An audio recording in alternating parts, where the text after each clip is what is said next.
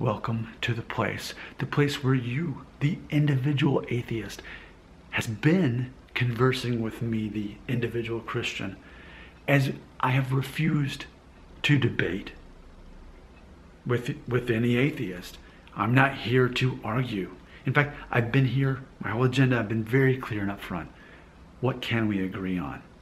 So I've been making these videos. I made those videos throughout 2019. And now that it's 2020, it just feels like it's time for a change. I feel that ultimately by doing dozens of those videos, I learned what I needed to learn from them. And that's ultimately, it comes down to tribalism more than anything. We're hardwired to identify with a tribe. And so what I was revealing in those videos was as I was wanting to connect with atheists, it wasn't, hey, you're in this atheist tribe and I'm in this Christian tribe, so let's stay in our tribes. It was, hey, we're human beings and we have different views of reality, but ultimately, let's be in the tribe that refuses to put the other in a box, the, the one that refuses to look down on other people. And ultimately, by making dozens of those videos, it's helped inspire my new upcoming series, which I plan to call uh, Self Help Hacker, which I'm planning to, because ultimately my whole goal, and I said this openly in all those atheist videos, as an atheist, those videos, that it was a matter of emotional intelligence.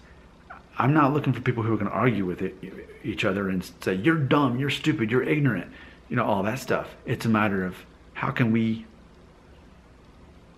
converse and treat each other with respect.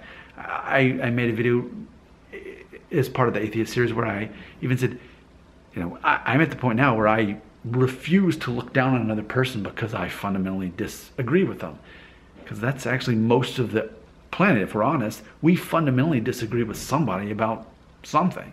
So to look down on a person because you disagree with them. So ultimately, I'll realize it comes down to tribalism. And I'll be doing a, video uh, in my new series, Self Help Hacker. So I, what I want to say is, I want to thank all of you who watched all those videos, and I think it's pretty cool, like to realize I learned a lot from it, and I'm going to stop doing these atheist videos because I've learned what I needed to learn, and I think I accomplished what I really, even maybe even beyond what I wanted to accomplish. So thank you for all your support. Thank you for all those comments. And if you feel like sticking around, you can see what I'm planning to do with that information.